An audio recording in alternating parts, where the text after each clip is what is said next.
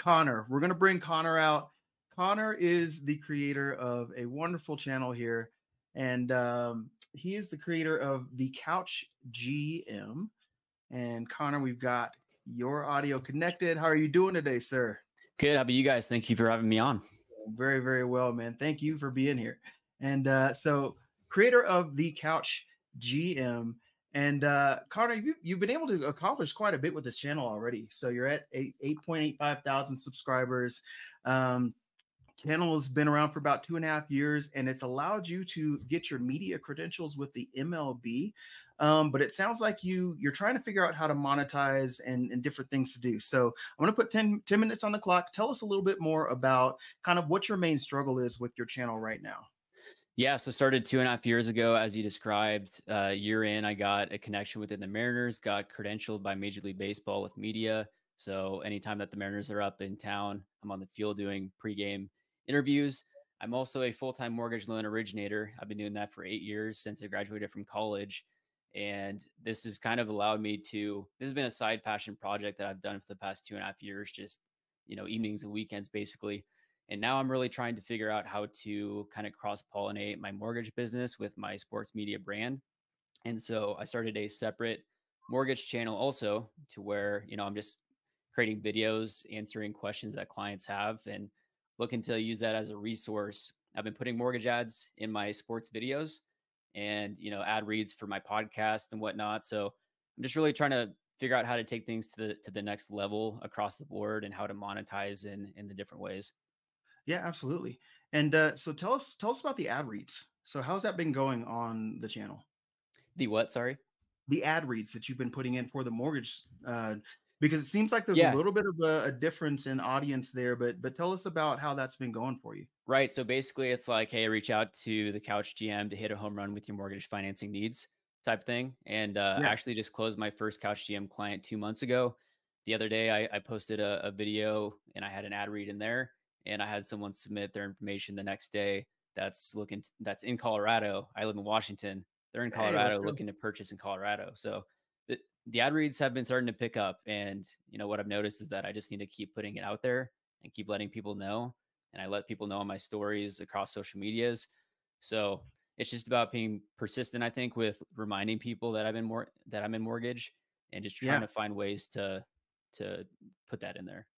No, and I, and I think that's important because it, there does, to me, seems to be a little bit of a disconnect between the audience of the baseball and then people mm-hmm. that would be looking for a mortgage mortgage lending service. So um, you said you have a, a, second channel as well. How's how are things going on that channel? Is that one more tailored specifically to the mortgage lending?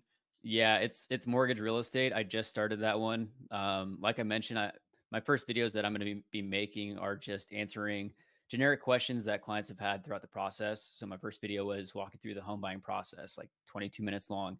And so when I have a potential client, I could send them the link to that video and then help, you know, build that trust. And then, um, yeah, just trying to find whatever avenue to take things to the to the next level. So. Yeah, no, that's good. And I did look around your channel, and so that's that would be the one thing, as I said, a little bit of a disconnect there with the baseball uh, content and the mortgage lending. However, it does feel like you're building some trust there with a lot of people. So 8,000 subscribers. And uh, as Della and I were looking, um, I think that was the thing that we kind of came to as well is that is there a way to bridge that gap? Because you're building trust there as somebody that's reporting uh, the industry news, the baseball, that type of thing. And I'm, I'm glad you started to utilize that that uh, ad read technique, getting mm-hmm. that actually in there for yourself. But Della, I'd love to hear from you as well on on your thoughts for the channel. Yeah, I think one question, like you said, Sam, is, is there a way to bridge that gap? Another question I would ask too is there a way to just keep them in their own lanes? Like, do you have any idea how you could just monetize on the baseball side? Does that make sense? Yeah, and so I've I've kind of became uh, locally in this area. People have heard about my sports media brand, YouTube channel, video that I do, and I've become somewhat of an authority locally in the in the market. And so I I want to help monetize the Couch GM in multiple ways. One with the whole YouTube channel, but I mm-hmm. want to start you know coaching with YouTube, coaching with video for realtors specifically in the area.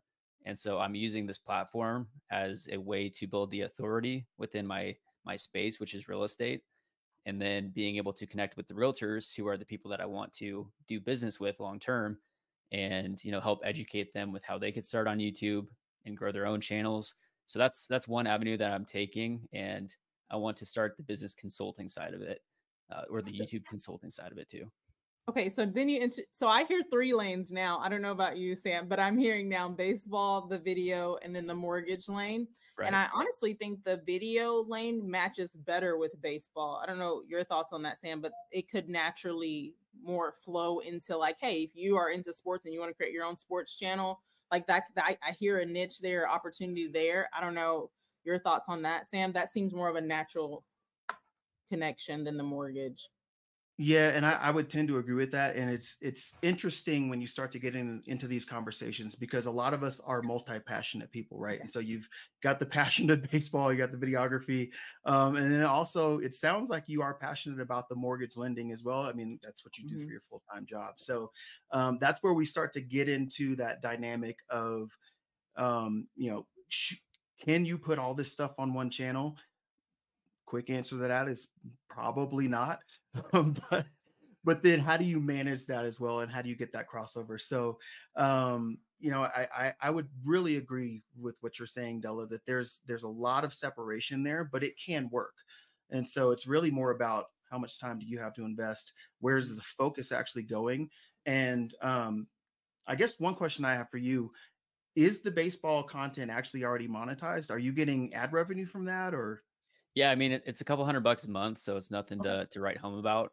But you know, and it's not it's not enough to be able to focus more time on it because, as I mentioned, full time job is mortgage lending, so that's the priority, and that's why I want to start creating those videos to help build that out.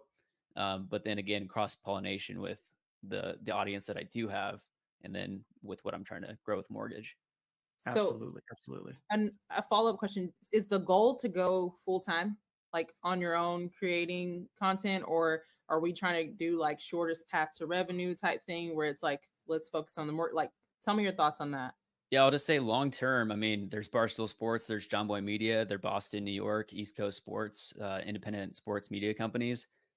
Ideally, long term, Couch GM West Coast, you know, became a, a national sports media brand and company, and that's that's ultimately the goal. I didn't have that thought initially when I started it. It was just out of a passion of wanting to create content that I wanted to watch myself. Mm-hmm. And, you know, it's opened a lot of doors and I can only imagine where it's going to be in a couple years. So why not, you know, don't put a limit on it. Yeah.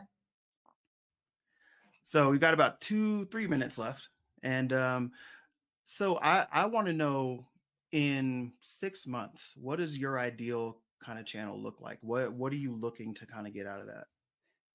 So my Couch GM channel, um, a lot of the the videos that I create are short film. You could say they're very educational, a lot of editing.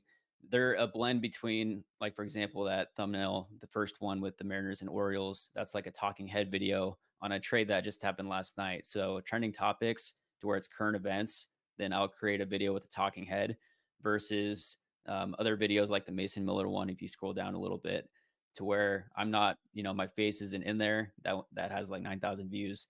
That's highly edited. It's it's basically a short film educating on who this player is, where they came from, why you should pay attention to them. So, I mean, my, my thing is just keep creating content, keep doing what I'm doing, keep letting people know that I'm in mortgage, and then locally, you know, keep doing the same thing, word of mouth, get connected to people and just kind of see where it takes me. I love it. I love it. Well, what I would say is it sounds like you do have a lot of things that are on track. And so and and the mindset wise, it seems like you do have uh, you know, a lot of the the things that we would already, already look for as far as making sure that the, the channel's focused. Obviously the channel's growing. Um, and so I would start to think through monetization wise, specifically for the Couch GM. Mm. Um, are there other ways that you can monetize? Are there affiliate programs you can get into, or um, you know, different types of merch, maybe getting in with a specific team or something like that? Uh, and so, ways that you could potentially bring in other streams that way, make it more viable, and so that it is more than just you know a couple hundred bucks a month. Um, I guess but, I Yeah, I didn't really mention I am affiliated with various companies like that panel behind me, the Glance LED panel. Uh, Yeah. Baseballism is a sports apparel brand that I'm affiliated with. Uh, Black Label Supplements, which is a supplement company. So Oh yeah.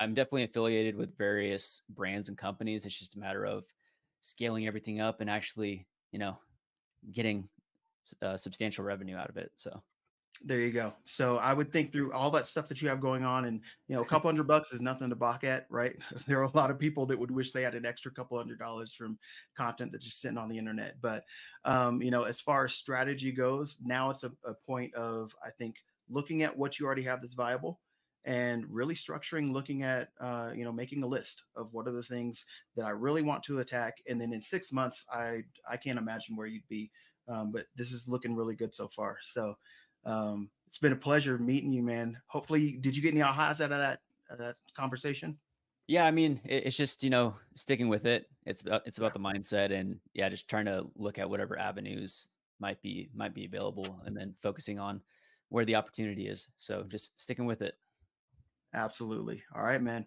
Well, it's been a pleasure, Connor. Connor, great to meet Appreciate you. your time. And enjoy the rest of the summit. Yes, sir. Thanks. Bye, Connor. See ya.